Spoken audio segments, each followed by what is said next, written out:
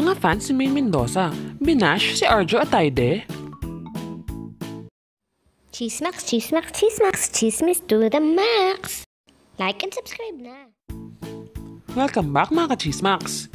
Binash nga ba ng mga fans si Maine Mendoza ang boyfriend nito na si Arjo Atayde? Kaka-celebrate nga lang ni Maine at ni Arjo ng kanilang anniversary, ngunit parang hindi ata magiging maganda ang takbo ng taon na ito. Ito ay dahil na-bash si Arjo ng mga fans ni Maine Mendoza at Alden Richards. Maaalala na hindi agad in-out ni Maine at ni Arjo ang kanilang relationship sa public. Ito ay dahil gusto rin i-keep ni Maine ang kanilang pagsasama in private. Marahil ito na rin ay para maprotektahan ni Maine ang kanilang relasyon. Ngunit ngayong araw nga ay nag-trending sa Twitter ang hashtag no to Arjo the user.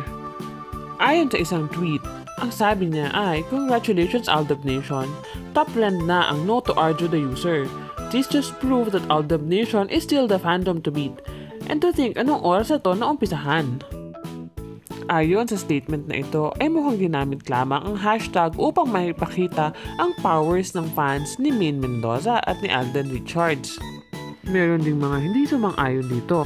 Sabi nila, ay ba't hindi nilang kayaan ng mga idols nila o mga favorites nila na maging happy sa mga partner na kanilang pinipili. Nabanggit patuloy na ang Aldab Love Team ay matagal nang wala.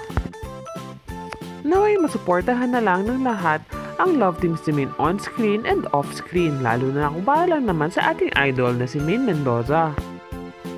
Support lang tayo mga kachismax sa ikasasaya ng ating mga idol.